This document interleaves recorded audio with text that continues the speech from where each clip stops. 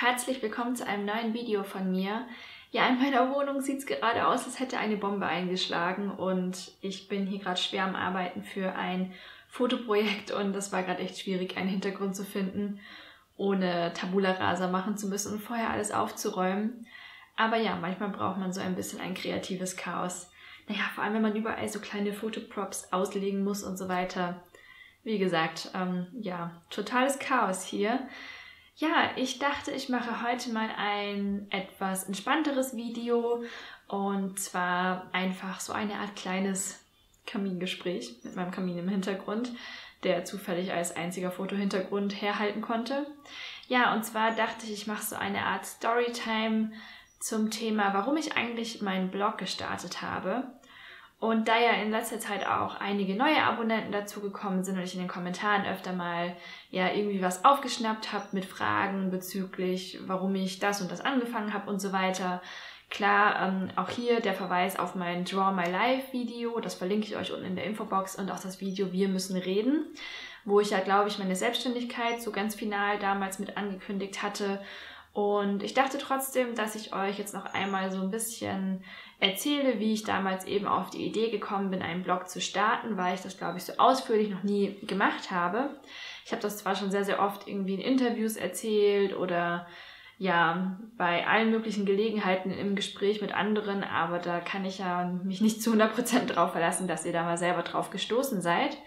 Ja, und wir springen einfach mal so zurück in das Jahr 2004, 2003. Wow. Also sehr, sehr weit zurück. Und ähm, ich war jemand, ich war schon immer super interessiert, was das ganze Internetthema anbelangte. Ich weiß nicht, ob ihr euch alle noch daran erinnert oder ob das überhaupt, ob ihr das so miterlebt habt, aber als damals so das Internet quasi verfügbar wurde, so für alle, dass ich, es gibt bestimmt ganz junge Zuschauer, die es sagen, was, Internet schon immer verfügbar für alle, aber also in meiner Kindheit kam das halt irgendwann, dass jeder Internet zu Hause haben konnte, sehr langsames Internet. oh mein Gott, wir gehen sehr weit zurück, aber egal. Ja, ähm, ihr könnt ja mal kommentieren, wenn ihr euch ja da irgendwo wieder erkennt. Jedenfalls, man hatte halt diese Telefonleitung und man konnte sich dann ins Internet einwählen. Es wurde per, per Minute abgerechnet und teilweise konnte man dann auch währenddessen nicht telefonieren. Das heißt, wenn jetzt jemand im Internet surfen wollte, dann war die Telefonleitung tot. Eigentlich unvorstellbar heutzutage, oder? Eigentlich bräuchte ich einen, einen Tee dafür oder ein Getränk. Naja, jedenfalls ähm, war ich da total fasziniert und voll dabei und meine Eltern ähm, hatten das auch natürlich für uns dann eingerichtet und wir hatten so einen Familiencomputer, der stand bei uns im Keller, weil wir im Keller so ein Arbeitszimmer hatten. Also es war jetzt so kein Keller wie man sich den vorstellt, sondern so schön mit Teppich und mit Arbeitszimmer, vielen Aktenordnern und so. Und ähm, ja, da saß ich dann immer ganz gerne und ich war damals immer im Kindernetz, hieß es. Super witzig. Und das war eigentlich mein erster Blog. Das war aber nicht 2003, das war, glaube ich, noch viel früher. Also auf jeden Fall noch viel früher. Und da hatte ich ähm, wie so eine Art Homepage und das war Kindernest, das war glaube ich vom SWR, auf jeden Fall von den öffentlich-rechtlichen. Das wurde auch betreut und so monitored, dass da halt nichts komisches passierte.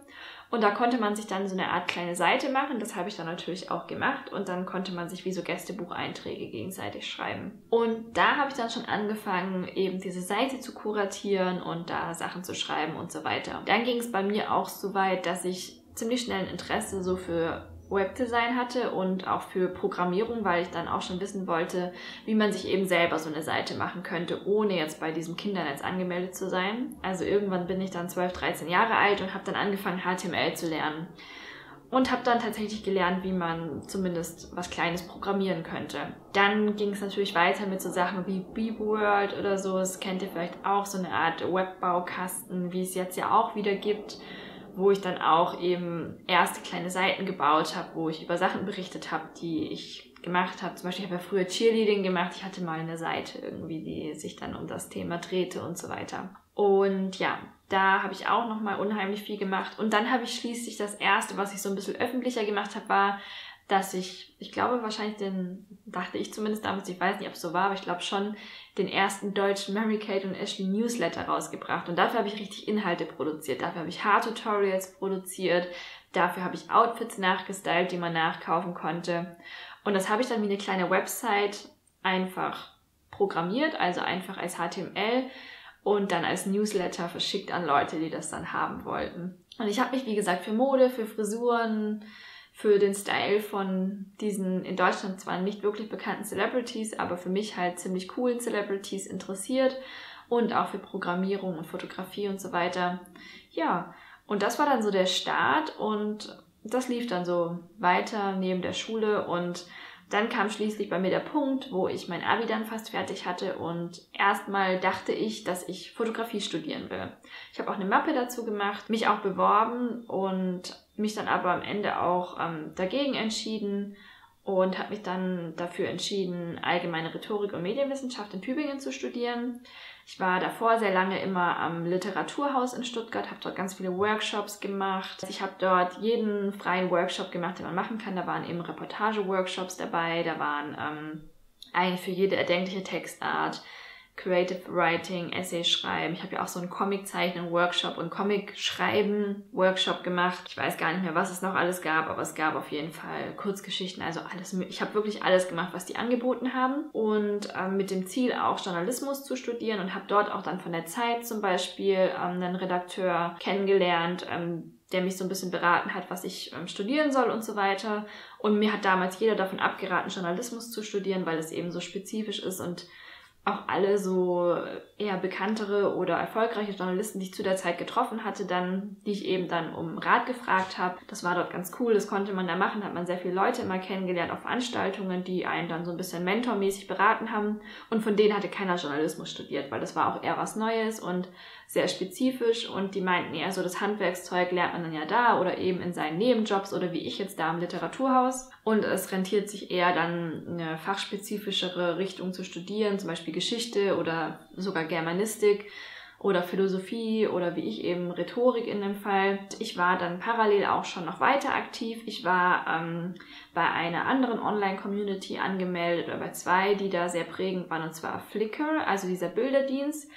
Und da habe ich vor allem eben die Fotos hochgeladen, die ich auch gemacht habe, als ich schon so in Richtung will ich Fotografie studieren und so weiter ging. Und dann habe ich noch ähm, bei Live Journal einen Account gehabt, weil dort auch wie so eine Art Tagebuch ähm, schreiben betrieben habe, aber öffentlich. Und zwar hatte ich damals eine Art Vertrag mit so einer Art Künstleragentur, weil ich eben auch viel ja ähm, so als in der Sparte so People, äh, Model-mäßig. Ich bin ja nicht so ein Model im Sinne von hu, hu, hu, Vogue, Vogue, Vogue, Laufsteg und so weiter, sondern eher so jemand, ja, so Commercial. Ich war schon als Kind, musste ich schon mal für so einen Urlaubskatalog herhalten und solche Sachen. Also mir hat das voll Spaß gemacht oder auch so kleinere Schauspieler-Sachen. Also ich habe so Musikvideos gemacht und kleine Theaterstücke und sowas. Und da hatte ich eben so, eine, so einen Vertrag bei so einer Künstleragentur und die wollten damals das machen, was jetzt ganz, ganz groß ist, also diese Online-Influencer, und zwar haben die wirklich nur so 15 Leute oder so unter Vertrag gehabt und die haben jeweils so eine Art Tagebuch bekommen, das sie öffentlich für diese Agentur führen sollten,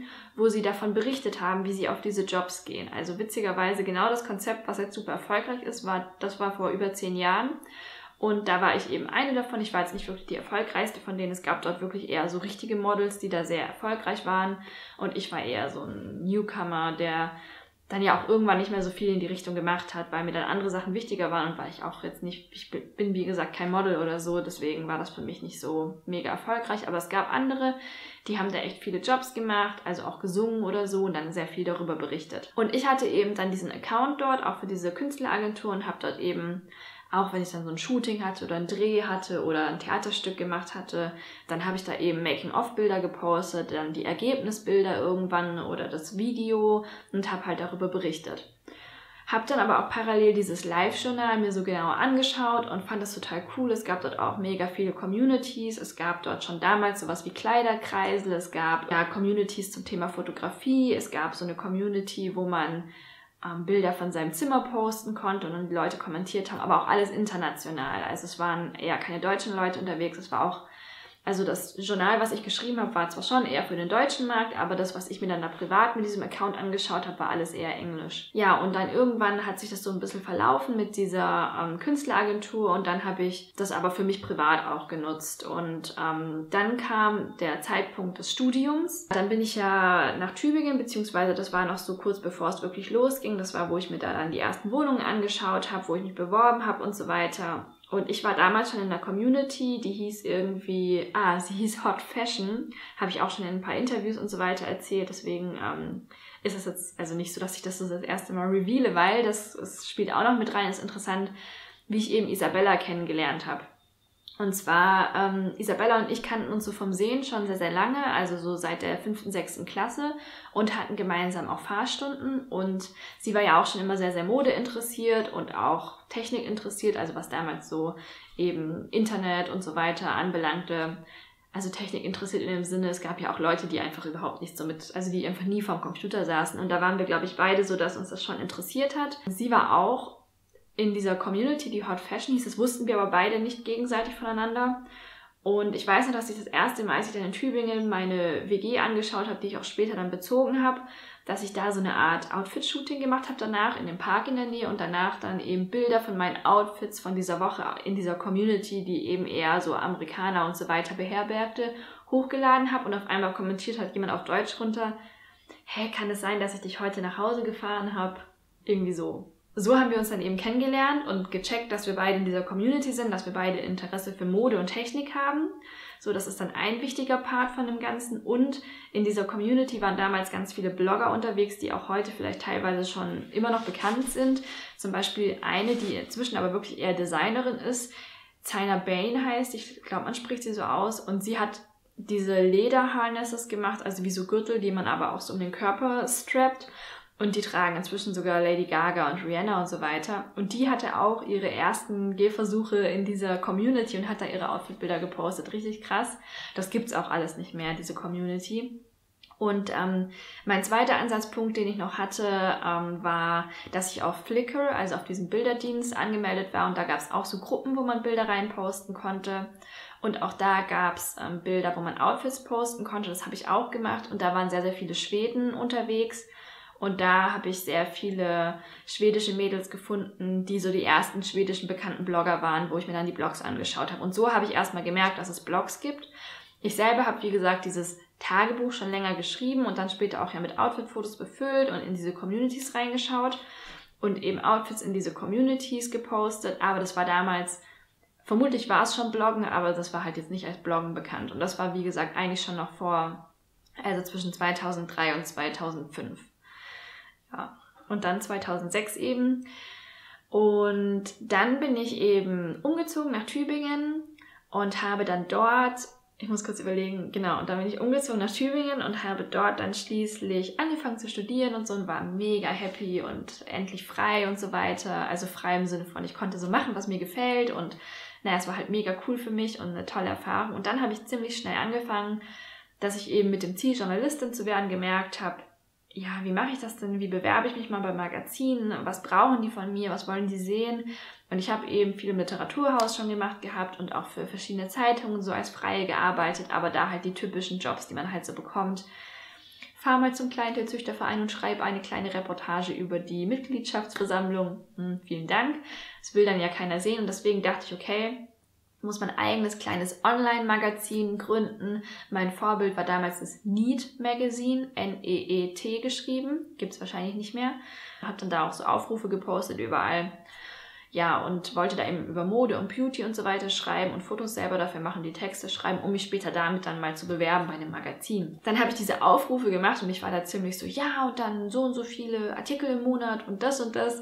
Und dann wollte da natürlich keiner so richtig mitmachen, weil ich da so ein bisschen meine stressige Arbeitsmoral, die ich so habe, glaube ich, habe ich da schon so ein bisschen durchblicken lassen. Es wollte irgendwie keiner so richtig mitmachen. Und dann dachte ich so, Mano, wieso dauert es so lange, bis ich Leute finde, die da mitmachen wollen? Und habe dann einfach beschlossen, okay, so übergangsweise mache ich jetzt erstmal mir so eine Seite auf.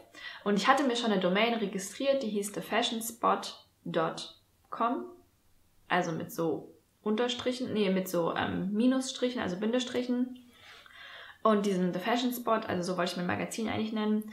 Dann habe ich da eben erstmal auf Blogspot habe ich dann rausgefunden, weil die ganzen Schweden da ihre Blogs teilweise hatten. Ich muss es aber fashionspot.com.blogspot.de, glaube ich, nennen, weil das andere war schon vergeben. Habe das dann erstmal registriert und ich hatte auch echt so eine designte kleine Seite schon, wo ich dann so under construction so einen Button drauf gemacht hat und der hat dann erstmal zu dem Blog umgeleitet und habe dann schon mal angefangen da zu schreiben, weil ich war eben so ungeduldig und konnte nicht warten, bis sich Leute melden, die dann da mitmachen wollen.